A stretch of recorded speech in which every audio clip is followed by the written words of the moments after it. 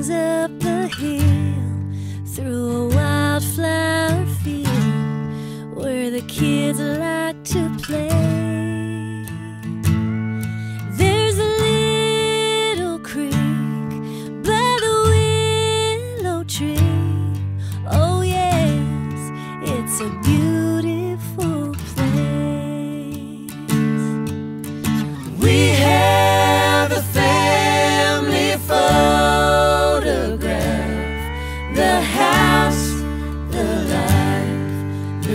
You.